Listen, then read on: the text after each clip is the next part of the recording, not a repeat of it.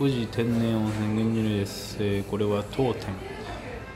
6周年ということで2015年9月と最後の、えー、29日30日ですね、えー、肉の日、えー、スペシャル。ステーキ丼になります。ステーキ丼と、えー、野菜ですね。サラダとお味噌汁と漬物が入った豪華セットになります。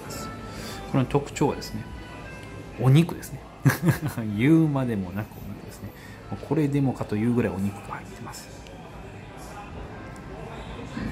食べ応えをねお肉の食べ応えあとお肉の香りですね、えー、存分に楽しんでいただけたらと思います。これほとんど、ね、ステーキ丼ですけどお肉が完全に主役なんでね。2019年の9月ですね。当店6周年迎えました。その最後のスペシャル料理楽しんでいただけたらと思います。以上です。